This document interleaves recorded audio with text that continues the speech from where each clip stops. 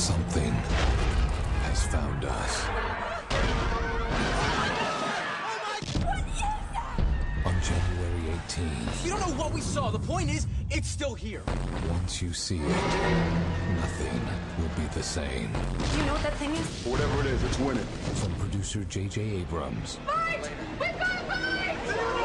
Where are you taking her? Cloverfield. Rated PG 13.